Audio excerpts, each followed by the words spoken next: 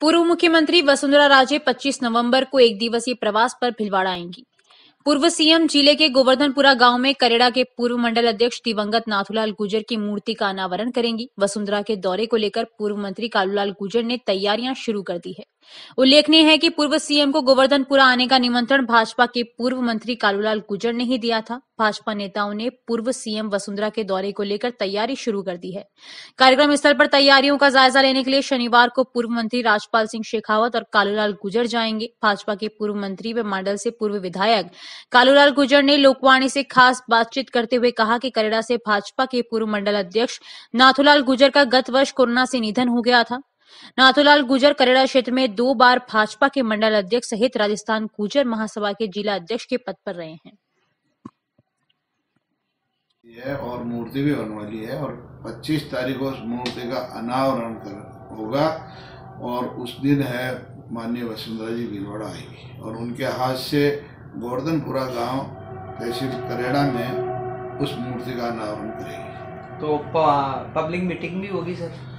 बिल्कुल वो तो पब्लिक तो आनी है क्योंकि बहुत बड़ा कार्यक्रम उन्होंने खुद ने सुनिश्चित किया है और मूर्ति अनावरण के अंदर काफ़ी लोगों को बुलाया है तो निश्चित रूप से लोग आएँगे और बहुत अच्छी वहाँ मीटिंग भी होगी। आपके प्रयास से ही आ रहे हैं? देखिए मेरा प्रयास तो ये है कि मेरे को मेरा तो बहुत अच्छे मित्र थे इकतीस साल तक राजनीति में मेरे साथ कंधे से कंधा मिलाकर चले उस आदमी ने ज़िंदगी में कुछ मांगा ही नहीं। इस बार भी उन्होंने उनका लड़का पंचायत समिति का सदस्य जीत गया, लेकिन उन्होंने ये नहीं कहा कि इसको उप प्रधान बनाया लेकिन मैंने उनके लड़के को उप प्रधान भी बनाया। तो मेरा बहुत क्लोज थे, इसलिए हम तो उस कार्यक्रम के आयोजन में है ही है। सर, वसुंधरा जी काफ़ी समय से दौरा नहीं कर रही है। और भीलवाड़ा को गढ़ माना जाता है भाजपा का यहाँ पहला दौरा है, क्या सियासत मायने? देखिए, ना तो कोई सियासत है, न कुछ है। वसुंधरा जी ने कभी भी कोई कार्यक्रम पार्टी के पैरल अपनी ओर से कोई कार्यक्रम आयोजित पिछले तीन सालों से नहीं किया। और ये कार्यक्रम भी कोई कोई किसी प्रकार का पार्टी संगठन का कार्यक्रम या कोई ताकत दिखाने का कार्यक्रम नहीं है। ये केवल उनके एक अनुयायी द्वारा इच्छा, मरने से पहले इच्छा ज़ाहिर की थी मूर्ति लगाने की। उस मूर्ति के अनावरण में आना एक व्यक्तिगत कार्यक्रम है। व्यक्तिगत पैसा इसमें लग रहा है। व्यक्तिगत ही प्रोग्राम है। जैसे कोई मर जाता है, उसके हम बैठने जाते हैं।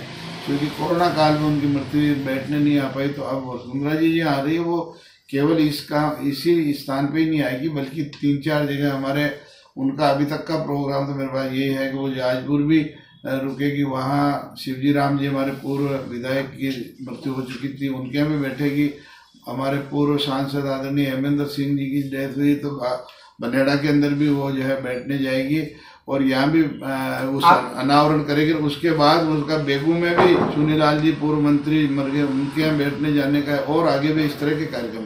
तो एक कॉमन प्रोग्राम है उनका ऐसा कोई सबसे पहले भीलवाड़ा में गोवर्धनपुर आएगी सर। नहीं सबसे पहले हो सकता है कि वो जाजपुर रुक करके फिर आए।